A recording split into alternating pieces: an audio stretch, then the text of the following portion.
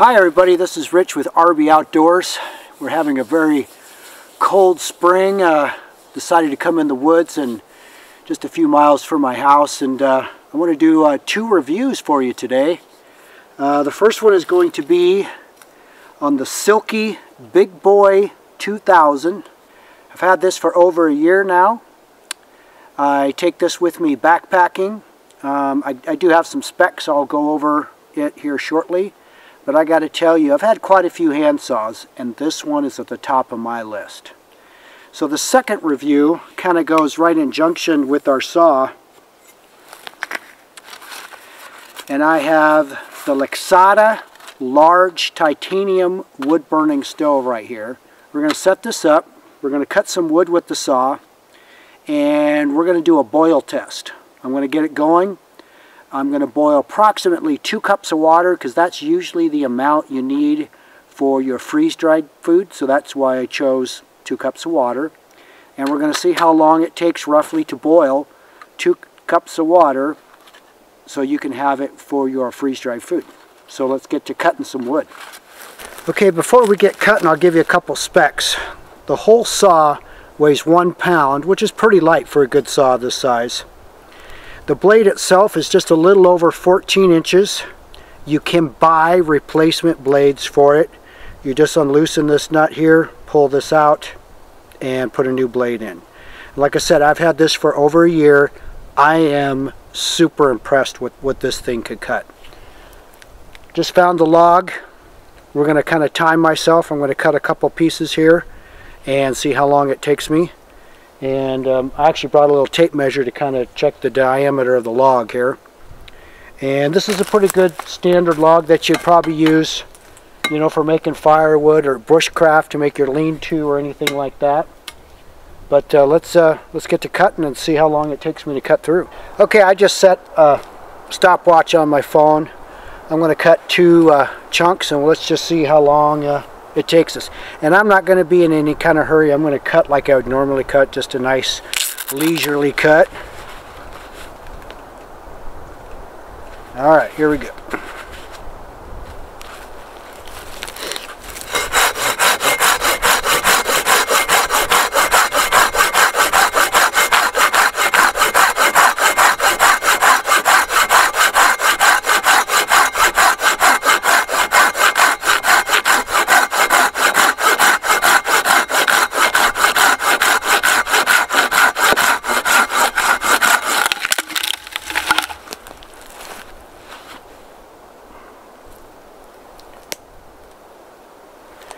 I got 32 seconds. It actually was at 29 time I took when I took my glove off.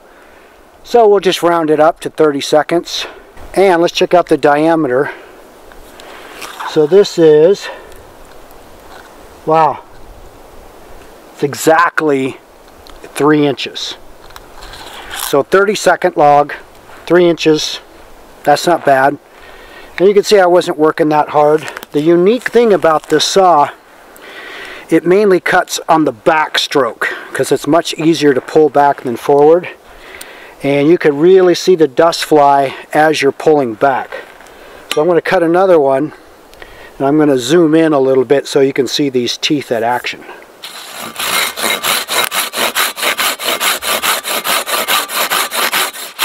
If you notice on the back stroke is when the sawdust starts to fly.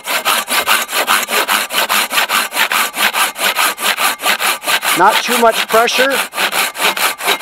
Saw a lot of wood with very little effort with this thing.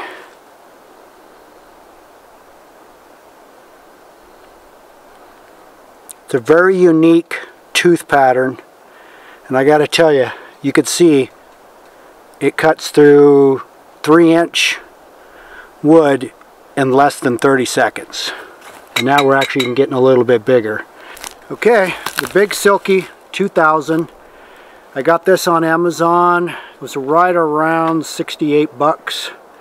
And I got to tell you, I've owned three or four other different brands of hand saws and this one by far, by far, super easy, cuts wood easy, and only being a pound, if you're doing a lot of bushcrafting and backpacking, well worth it. Well worth it. Plus, like I said, you can buy a replacement blade uh, when it gets dull. Highly recommend the Big Boy Silky 2000. Okay, part two of this review. And here it is. Here's the Lixada stove. I did end up getting the large titanium. Um, I'll give you some specs on it here in just a minute, but I just kind of want to show you kind of what it looks like. Now I've I've only used this um, three times, and I did a snow cave. I built a snow cave and stayed in it during a winter storm warning. You can check that in one of my last videos I just did here about a month and a half ago. And I used this to cook a uh, cast iron ribeye tequila uh, ribeye steak and it worked quite well. And I also boiled water for my coffee in the morning. Um, this thing can hold a lot of weight, um, like I said, but we're just going to boil water in it, two cups, just to see how long it takes. Let me get you some specs on this.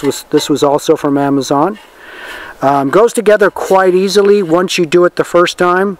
Um, it basically has these little hinges right here and they just all interlock. This is your main chute here. You've got some nice ventilation for airflow here. These are like your main support. Uh, like I said, I had a 12 inch cast iron pan on here and this thing held up just fine. But you can cook with your canteens or any other little pot that you want. So let's get to boiling some water. The neat thing about this stove, literally I just picked up these sticks right around this old fire pit. Put a little of my homemade fire starter in there, lit it. I mean you don't even really need a saw. But we're going to get this going and we're going to do our test. As you can see, I don't need to blow on anything. It's got these great air vents all around the sides. And you just literally just pick up any stick like so. No saw required. You can either feed them through the top or the bottom.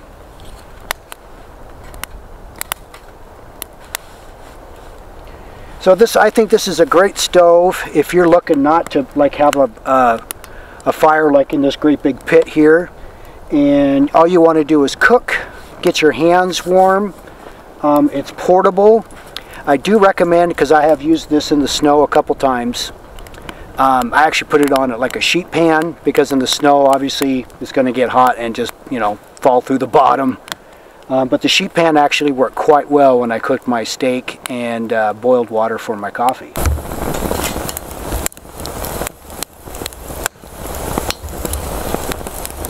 considering you don't have to pack any fuel. And like I said, unless you want to pack a saw, any twigs, pine cones, you know, if all you're doing is cooking, uh, you know, soup or top ramen or freeze-dried meals, um, not too bad because the fuel is laying all over the ground no matter where you live. Well, maybe except the desert.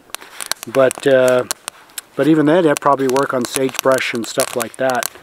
Um, like I said, this is an early review. This is my fourth time using it. Um, I am going to be using a lot this summer. I'll probably do a second review at the end of the season. But so far, pretty impressed. Um, let's just see how long it takes to boil two cups of water. So I just grabbed one of my old camping pots. I got two cups of water in here because that is about the average you would use for a freeze-dried meal.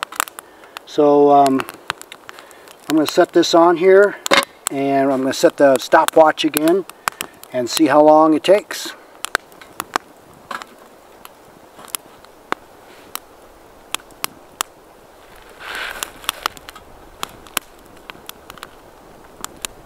Alright everybody, we are at 5 minutes and 49 seconds and I noticed we have some movement.